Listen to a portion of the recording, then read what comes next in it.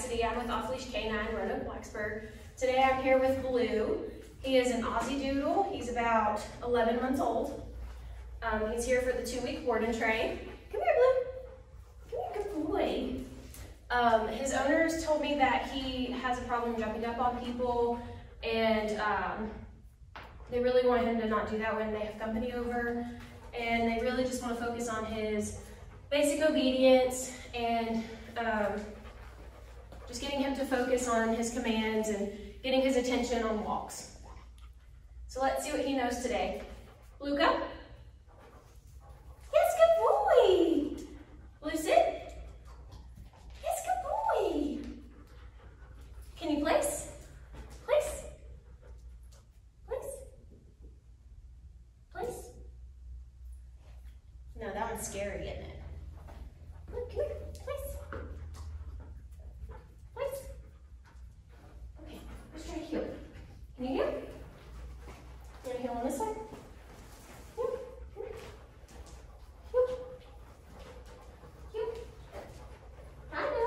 Heel. You're a good boy. So check back in two weeks and see Blue's progress.